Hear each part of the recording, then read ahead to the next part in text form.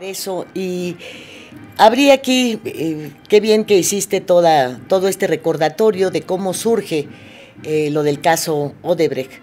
Pero bueno, hay un lado que es el, el electoral con el que obtuvieron un amparo, que parece que ya queda prescrito, y, y, volvemos a esta serie de beneficios que se supone se tienen cuando la acusación es de delincuencia organizada.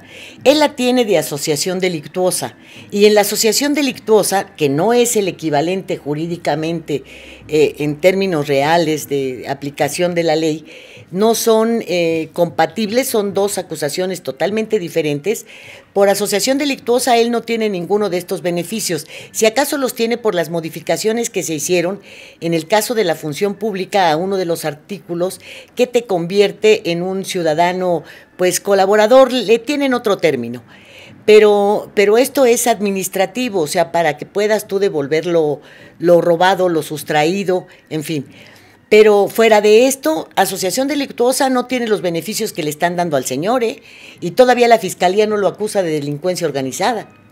De hecho, hasta donde yo sé, no se le ha acusado de delincuencia organizada porque obviamente perdería privilegios. Pero en cuanto a la asociación delictuosa, es, eh, no es, bueno, es un delito como tal, junto con los restantes, porque tienen que acreditar el cohecho. Y que no que, son graves, no pero son que graves. no tienen los beneficios. O sea, sí, si lo acusan de delincuencia organizada, sí puede ser testigo, colaborador o este o delator o sapo, como le querramos llamar. Eh, pero pero tienen que acusarlo de delincuencia organizada. Por este delito menor él no merece tantos beneficios, ¿eh? Mm, el tema es